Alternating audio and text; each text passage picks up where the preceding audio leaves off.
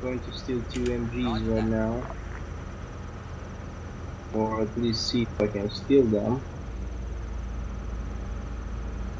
Don't worry, Volker. It's just saying goodbye to uh, Gregory.